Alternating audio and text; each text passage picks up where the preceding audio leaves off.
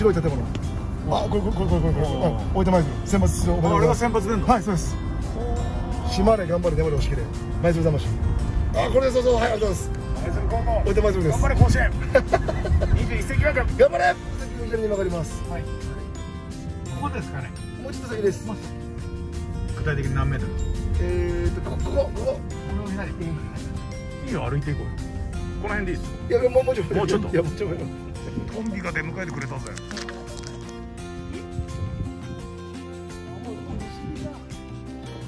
えー今からえっと窓口から大分の新居に向かっております。新居できて1ヶ月引っ越して2週間。はい、えー、千葉の家を見払って。えまああれビフォーアフターで作った建てた千葉の家から家族みんなでこう地元大分に大分にねはい。移住したんです。よそのお家が森さん。1月20日オンエアらしいんですけど。2月20日。2月20森さん日何？おおここかあうわ立派。全然千葉の家とまた違う風の立派じゃん。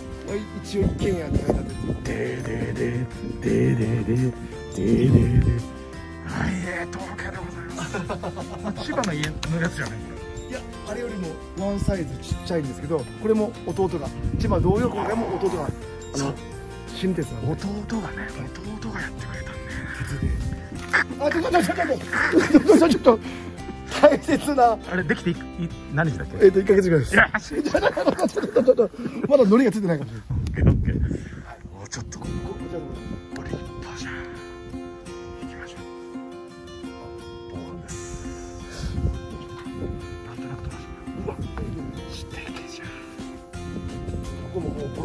ボロボロなんですけどねこうやってなんかこういろいろ匠がデザインして匠はすごいねこんな石も運んできたのいいじゃんちょっと待ってはい四つでもずっと待ってないいや入りますよ。はい。でも立派な立派な石ですよねなんか20年間もう誰も住んでなかったんですよ。あそこが空き家を今回はここの持ち主が知り合いだったもんですからあのお願いをしてはい。黒塗りです。その金貨も綺麗ですはい。似合うよねあのなんか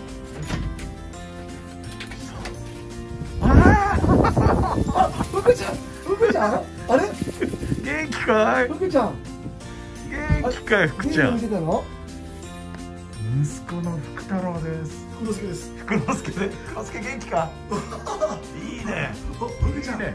あれママはこんにちは。元気？この家の自慢をいきなり見せてるのちょっと待ってこうやって。すごい写真だけどこれ何？これあの富津岬のおお普通のあれだ。はい。先端でだ。そうです。岬の展望台で気持ちが忘れたくなくて。すごいね龍神さんが富士山の方からガーッと。仲間が富津を見せないでねっていうことで写真くれましそうなんだ。たはい、これもいい本当にいい写真だね。じゃあちょっと自慢の？でリビングダイニングが、うん。はい、ちょっと見せてよ。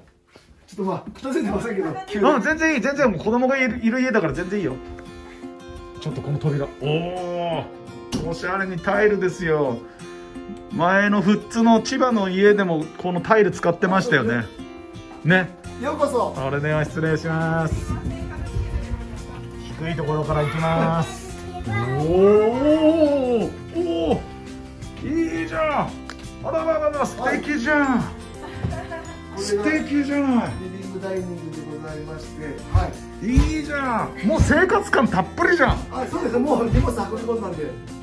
ええ千葉からだいぶ持ってきたの？えだいぶ捨てましたけどうん。だいぶ持ってきましいやいやいやたこれだけにだいぶ捨てましたけどいね。いじゃない。うわいいじゃない。あいいじゃない。こう狭くて暗かった部屋2つをこうぶち抜いてこうちらがすごいいいじゃんこれ。もう子供遊びほあれ？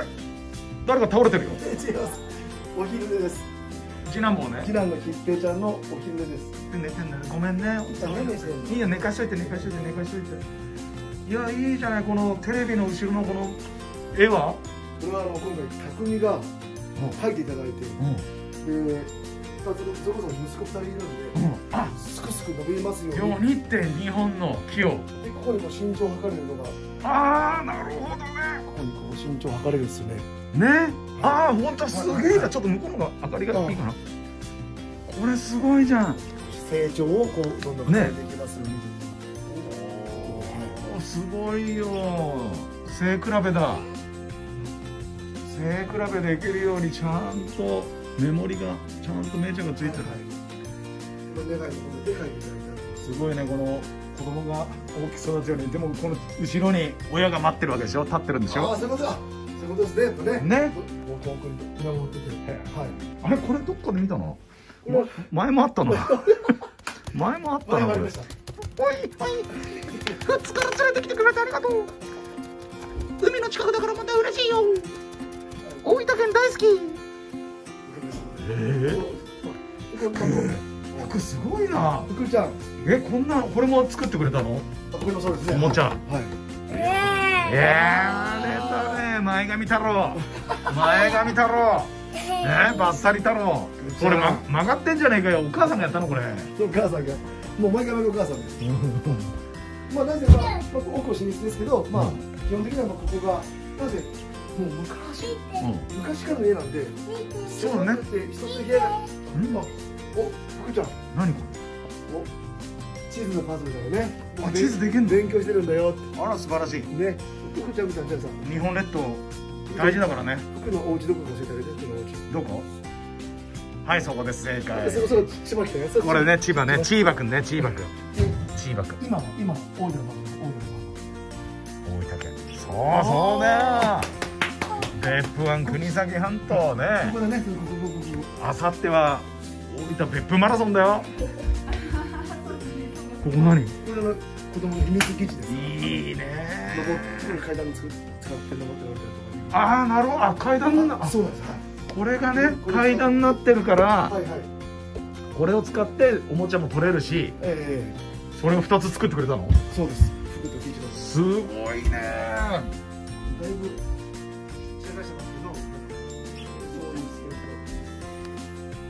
いやいいね。奥さんよかったね。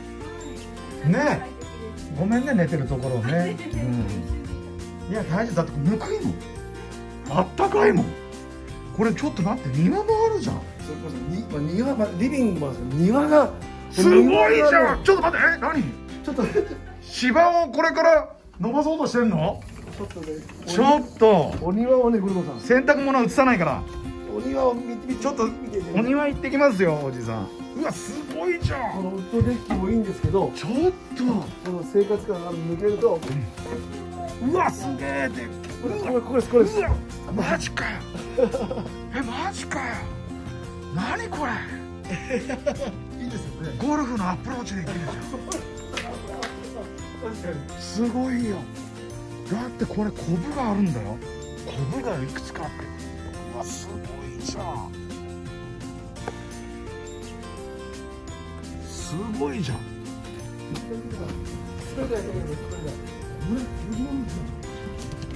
すごい。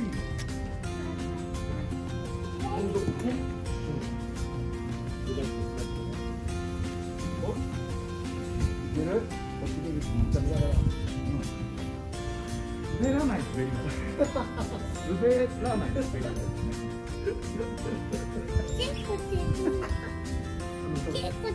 前のちょっとこう日本系の石やらないやらがごつかったんですよ、やっぱ危ないっていうのでこうこういう石をこう植えていってるみたいな。石なんだこれ。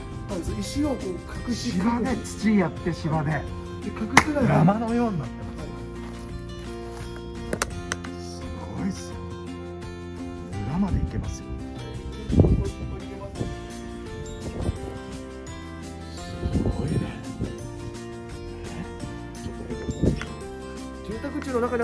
お庭があるおかげで開放感があるじゃないですか。え嘘。やろ嘘結構しないでくださいうわ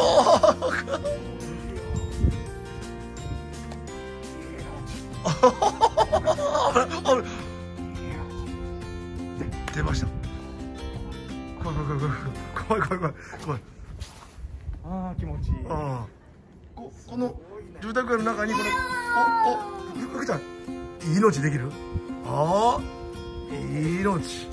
久しぶり久しぶりだからね。すごいね。はい。これまたあれだね。本当だからこうこれが南なんでずーもう朝からずーっと日が当たってるんですよ。あずーっとここに沈むまではい。だって周りの家が壁のように要塞になってくれてる。家の裏側なんで、ん。あんまり人の目もないんですよ。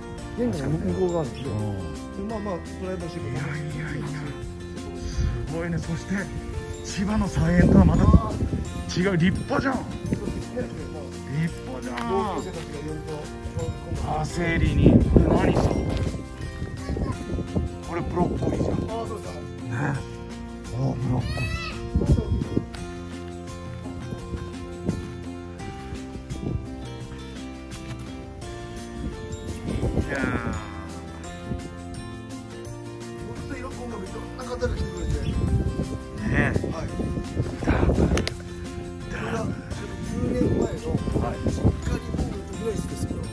これ。実家から持ってきましたこれ？あの西はいこれ10もう11年目のものですダブルエッジ。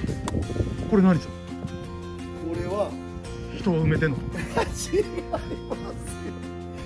庭に庭ができたもんだから埋めちゃったの。知ってますこれは。おお砂場か。すごいじゃん。猫がこうああうんちしないようにね、はいはいこれからあれだよ。夏になってくる芝が伸びてって緑になってって芝刈りもた面白いよ。秋以降にね作っちゃったから。ただねでけえ家だなおい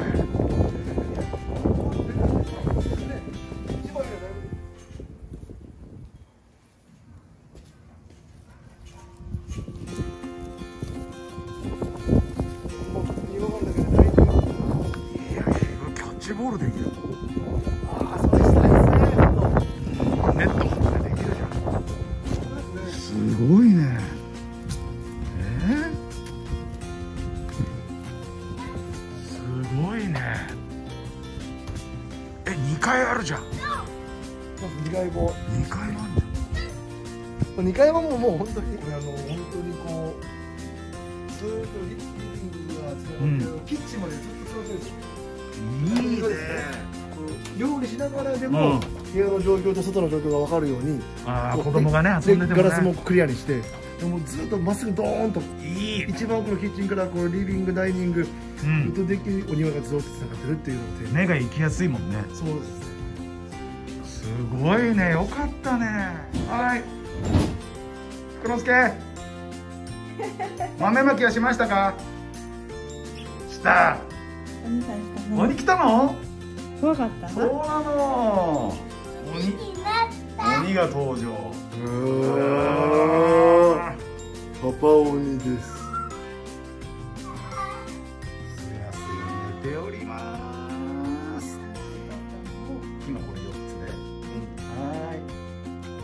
はい江藤家に来ました。ニコ。新居でございます。ニコ。フッツを捨てた家族です。大事にしながら。そうね。フッツに愛された家族です。そして大分に来ました。じ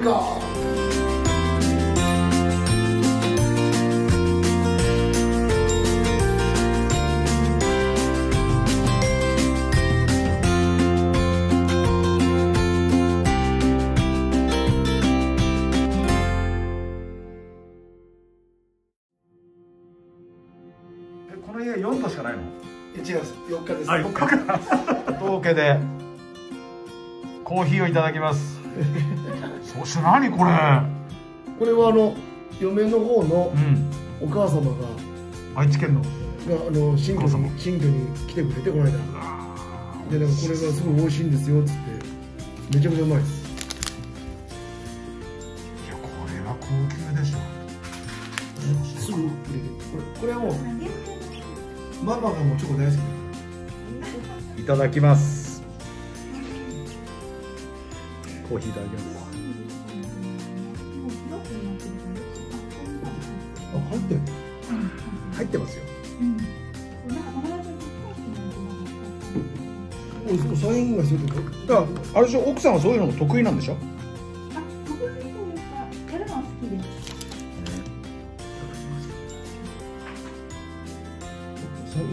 隣に後輩がいます。あようこそこようこそ江東家の新居へようこそ。ここどこですか？あの大分県の江東家の新居です。千葉の富津に住んでたんですよ。ビフォーアフターをした家に奥様と子供と。子供と住んでたんですが何年住んでまし丸5年です。た丸5年住んでたんですけども、大分に。まあ実家の大分にねお母さんの近いところにまたこの新居を構えていつでもお母さん呼べるように部屋も用意してってね。そういうことです。はうん。えっといくつになったの？い48ですね。4八？あと2年で50じゃん。4月で早く来いよ。お前50代面白いぞ。4月でもう49になるんですけど。ああじゃああと少しだよ。50代面白いよ、本当ですか、うん。いやなんかでそれこそ本当に50歳からの人生をどう過ごそうかなと思った時に、ん。母はもう70後半になり、うん。子供が小学校に入りそうだとうん。いう時に、うん自分がどこで最後死のうかという時に、ん。まあなんかあもう終えたかなと思ってただ今であれば僕もう20年頑張らなきゃいけないとか母を見とれるとか、うん。子供が入学するとかいろいろ考えたんですね、死ぬことを先に考え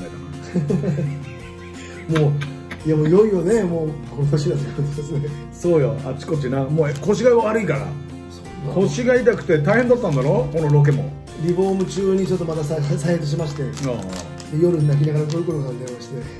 腰が痛いですあ泣いてたよな俺が電話した時に。痛いです痛いです。腰が痛くて仕事ができれないその時もねはいポジティブにねえっとそれ全部受け受け止めるんだよと。全部それを写真の動画撮ってね笑いに変えてねやるんだよっていうのを。カツああ 勝つ。のおかげで本当気持ち切り替えてじゃあできることやろうみたいな腰が悪くてもこう磨くことができるよとか、こうそういうことを切り替えておかげさまでやらせてもらってる、昨日うちのかみさんがさ今最近流行ってるさ電動のさダダダダダダダダってこうやって持ってやるマッサージってあれ聞くの？ああありますね。あれうちのかみさんなんかネットで6000円ぐらい買って病院でやってた。あ病院でああ保育園予定です。4月から保育園予定？はい何査定で落ちる可能性もあるの？前髪がちょっと雑ですね。ね。ちょっとあの左が切りすぎてますね。あら。あ痛い痛い痛いよ。あんたパパのせんべい取ったでしいいよ。いいよ。いいよ。ょ服？服服服。服。服はあれだぜ本当に。あと20年ぐらいしたら服いっぱい持ってきてくんなきゃダメだぜ、笑顔が多くて本当に周りから服があるねって言ってもらえるんですよねそうよ。裕福ってあるじゃん。は衣辺に谷なんだけどなぜ谷なのか。谷っていうのは深い谷は深高い山がなきゃいけなくてその高高さもあるけどたくさんって意味なのだから衣辺たくさんの服を持っていますよ。着物を持っていますよ。それで豊かっていう字なの裕福の裕。余裕の裕。本当だ。で裕福の服は服だから実はよ両方とも服のことなんです。え服を持っているっていうことが幸せ。だって寒いのに服がなかったああだからそれは貧乏なわけじゃん、寒いもだからこうやって服を持ってるってことは生地も変えるしうん。反物も変えて作れるしそういう意味で裕福裕福の家って昔本当着物とかもいっぱいこうねタンスにこうありましたもんね、まあでもね大変な時はそれを売ってたりしたわけだから。いやそうですそう。ね必要な時にはあるの必要なでない時はいらないの。よいろいろやればいいってこまあ。とだからさこれなんかもさ本当にあれよ。パーッつって何気にパーってやってくれいいんだよまあ、おお置いてそう。僕もそれぐらいがいいかなと思って、なんかもう置いてくるっていう。か、これで喋ったのを、うん、何気ない会話。でところを、うん。うん、ちょっとやってみな。で必ず横で撮んないと両サイドが真っ黒みになっちゃうから。で写真も、えー動画からしスクショして黒みが出るからそれをちゃんとあの編集でカットできるから。ふ普段のやつで。いいよ絶対いいよ。なんでこれもう絶対でいいじゃん。これで朝飯だ昼飯だ夜飯だっつっていただきまーすってこっちで子供たちとみんなで。元気に。ああれ見るのが楽しみなんでってちいちゃいまでのああこ